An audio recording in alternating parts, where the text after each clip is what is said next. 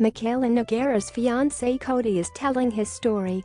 While the beauty influencer has previously spoken about her partner's journey to sobriety following his battle with drug and alcohol addiction, Cody shared his experience in a new TikTok posted August 10.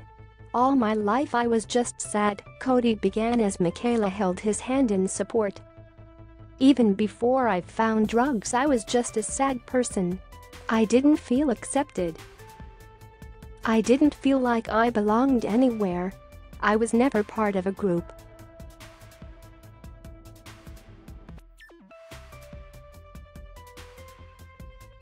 He shared that at the time he didn't have much hope for his future.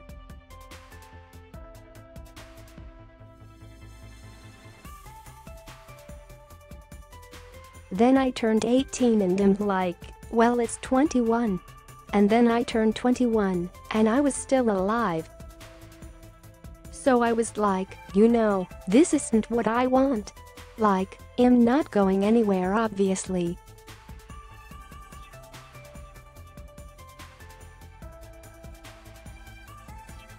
When I had reached the end of my rope, I came out here about two and a half years ago, and I spent my last $400 on a plane ticket out here, and I had $19 when I landed in Logan Airport, he recalled.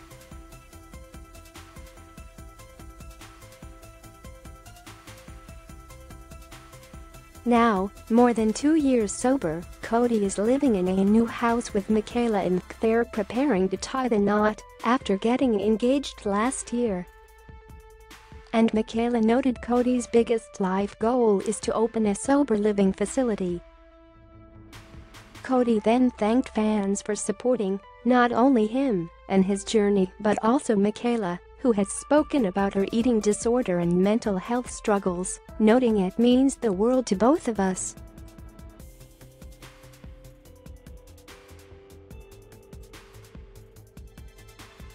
After many many years of struggling with drug and alcohol addiction, Cody hit a rock bottom, and he was homeless, Mikayla said. All he had was a really old beaten-down truck that he had bought with a couple thousand dollars and he began living in it.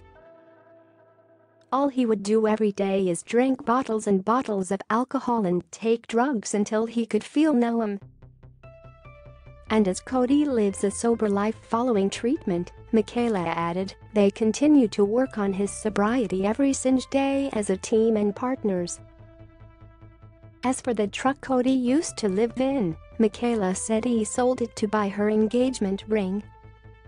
The most important thing to him, the truck, it transferred over to me, she said.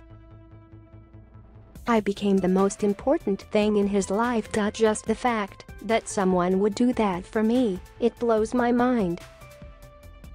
And to this day, Cody continues to show me every single day why he made that decision, why he loves me, and how excited he is about the future with me. If you or someone you know needs help, please call the National Eating Disorders Association helpline at 1-800-931-2237.